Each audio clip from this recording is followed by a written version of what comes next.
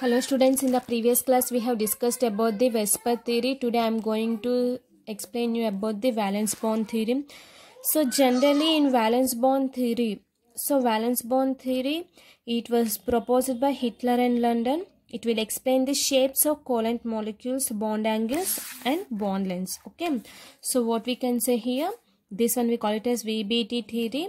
So this valence bond theory was proposed by Heitler and London to explain the shapes of covalent molecules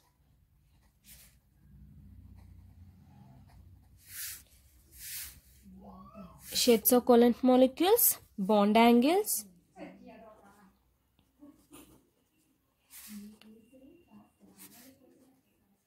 And bond lengths. Okay. So this was extended later. It was extended by pauling and also slater to explain the directional nature of covalent bonds. To explain the directional nature of covalent bonds it was later extended. Okay. So means what here we can say here?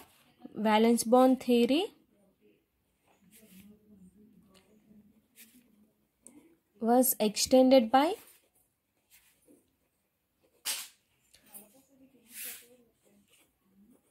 Pauling and Slater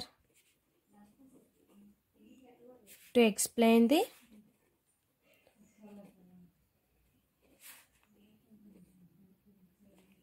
directional nature of covalent bonds okay? So then what is covalent bond? Covalent bond is nothing but shared pair of electrons okay? So here how the covalent bond is formed here? We are speaking about covalent bonds covalent molecules. So how it is forming the covalent bonds here? The covalent bond is formed by overlapping of two orbitals. So if suppose if you are having unpaired electrons. So then what is unpaired electron? If the electron is like this okay? So these two are unpaired electrons. If it is like this it is paired electrons. This one we call it as what here? Unpaired electrons we can say. Okay? So how it is forming we can say here? Covalent bond is formed.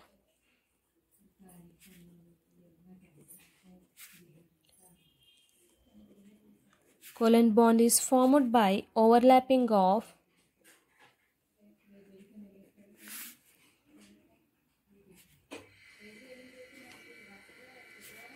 two orbitals having unpaired electrons. If this is having unpaired electrons so if these two are these are two unpaired electrons these two unpaired electrons is going to overlap if you are taking two orbitals s orbital this is and this is p orbital so like this it is overlapping. Okay? So this is meant for overlapping. So the covalent bonds of unpaired electrons is overlapping of two orbitals. That one we call it as what? Covalent bond. So here the two orbitals involving in orbitals it should have two different atoms and the electrons present in them must have opposite spins. So what here we are saying? The two orbitals which is undergoing orbit overlapping. So this one what i'm saying these are overlapping i'm saying. So means what here? The two orbitals. The two orbitals involving in overlapping belong to two different atoms and the electrons present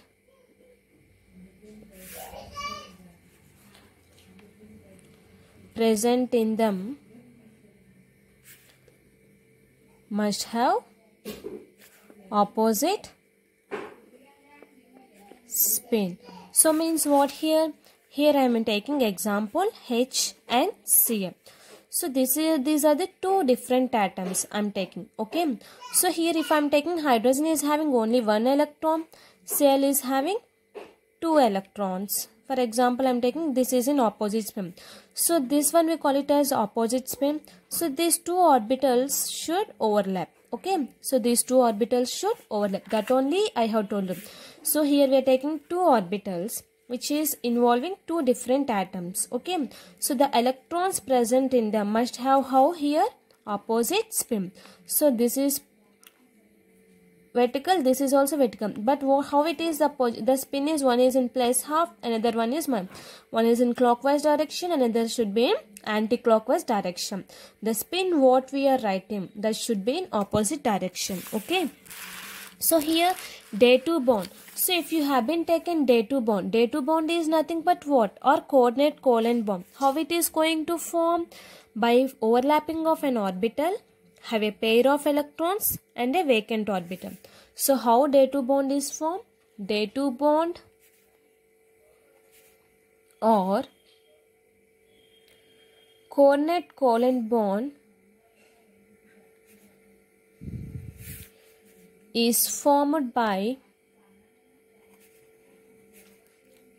overlapping of an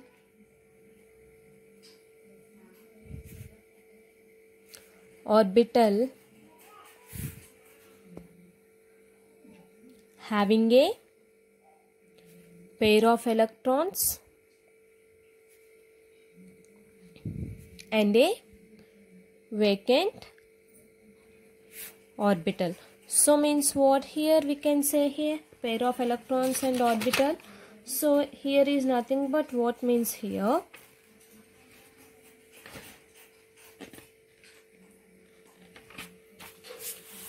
So let us see here what I have told you I am taking NH3. So NH3 is having pair of electrons H plus. So atomic number of H is 1. So if there is a charge loss of one electron. So there is no electrons in the H atom. There is only vacant orbital. So if you have been seen here NH3 what I have told you how it is forming overlapping of orbital having a pair of electrons. So this molecule is having pair of electrons of nitrogen. So it will overlap with vacant orbital. So this is having vacant orbital. So then what is the compound we are forming here? NH4 plus. So the overlapping of orbital having a pair of electrons which is forming a vacant orbital that one we call it as what here dative bond or coordinate covalent bond okay so how much greater that much how much greater the overlapping that much stronger is the bond is going to form so what we can say the greater the overlapping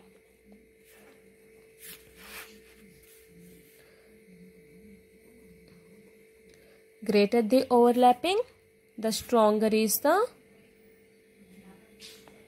bond formation we can say okay? So means what? The overlapping of atomic orbitals having the order. What is the order we can say? The overlapping of atomic orbitals order is what here? What is the order? P2p s2p then s to s. Okay. How then what we can say here?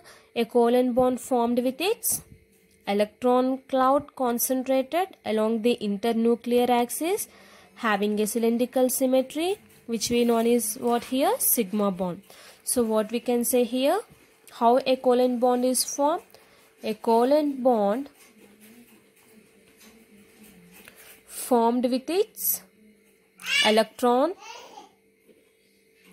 cloud concentrated along the internuclear axis.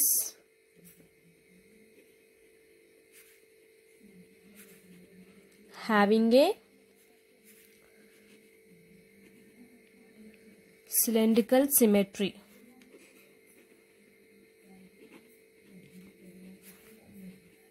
this one we call it as what? Sigma bond. Okay?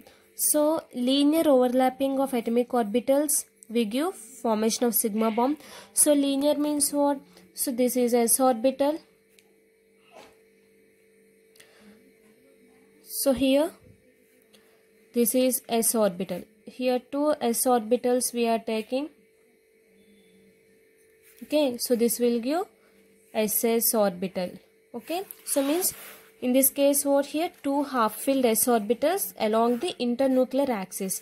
So here two s orbitals of half filled orbitals we are taking. Coming to sp if you have been taken.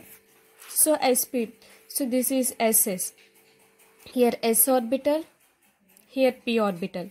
So this s orbital and p orbital how it will give? Sp so this is sp overlapping. Coming to p to p overlapping how it will give? This is p orbital. This is p orbital. Okay? So this will give linearly. So this all is in linearly. So this is pp orbital.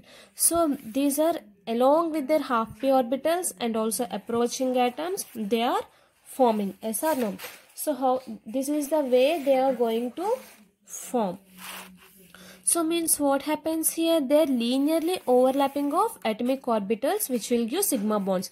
So these all will give what here? Sigma bonds. Why it is giving? So linearly overlapping it is undergoing. So linearly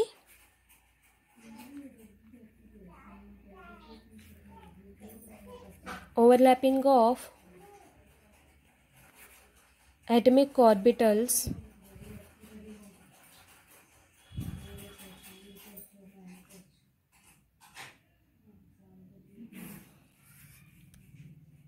give what here?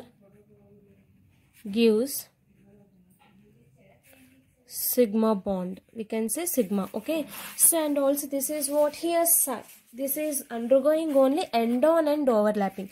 So this is end on and these three what we can say here these three are undergoing end on and overlapping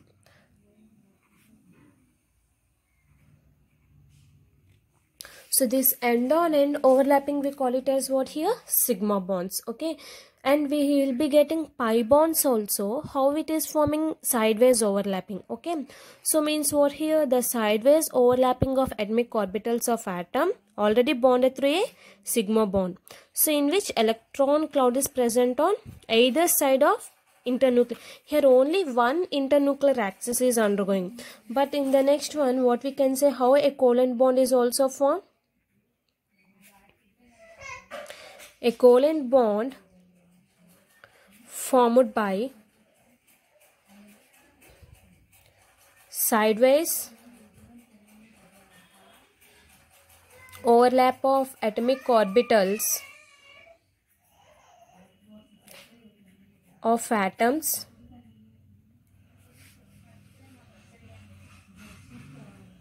already bonded through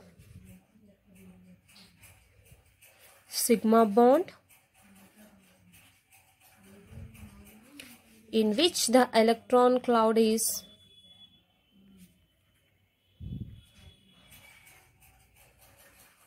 present on both sides. Either sides means here on either side of the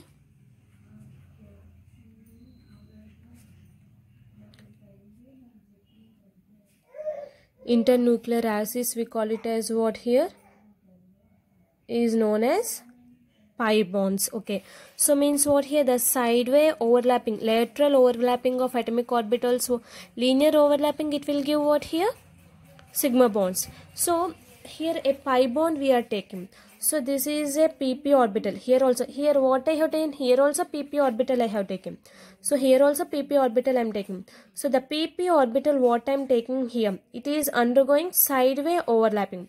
So here what i'm taking here end on overlapping is going on. If you have been observed here end on. So here i'm what i'm taking sideway. So sideway open vertically what i'm taking that one sideway we call it as. So it is forming like this so this is pp overlapping so means what here? Pi bond is forming. Or we can say like this.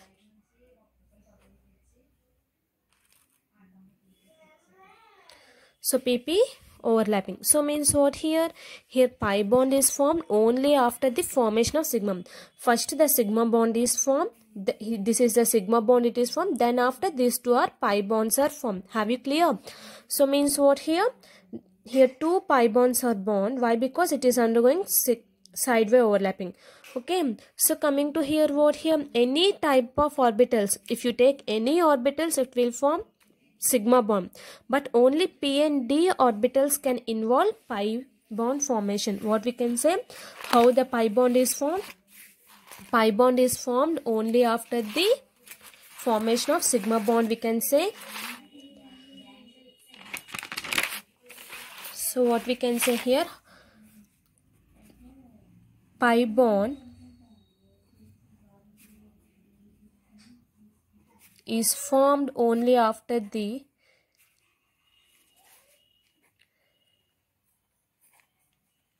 formation of sigma bond we can say.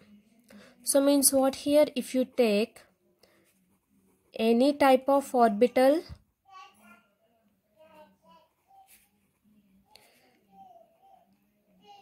can involve in sigma bond formation.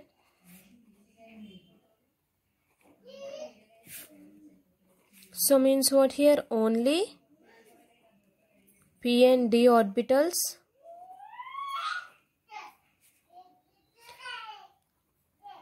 can involve in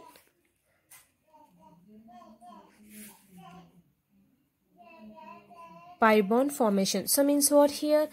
These two will also form sigma bonds. If you take any bond they'll form sigma bond. But coming to here after forming sigma bonds only they will be forming p and d pi bonds so single bond is equals to what here? So what we can say here? Single bond is equals to sigma bond we can say double bond. So double bond we call it as what here? Double bond is a one sigma bond and one pi bond. It is going to form okay so triple bond is nothing but what here? Triple bond. So this bond indicates what here? This indicates one sigma plus two pi bonds. Okay and coming to sigma bond here sigma bond is stronger than pi bond we can say here. So what is the order we can say? Sigma p2p sigma s2p sigma is 2s then pi bond. So it is having the order like this. Okay. So next what we can say here? The strength of bonds. So means what? First the triple bond then double bond then single bond. So this is general characteristics of the covalent bond. In tomorrow in the next class we can discuss about directional properties of covalent bond and properties of covalent bond. Okay. So this is about what here valence bond theory. Thank you.